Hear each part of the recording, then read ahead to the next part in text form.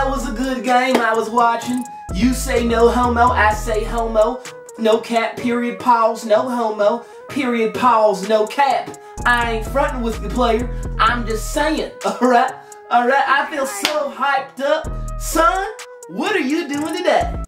Why? Oh, why am I being stressed out? And why are you using words like no cap, period, and pause? No cap, period, and pause? Funny, funny guy, Dad. I like to use words like that nowadays.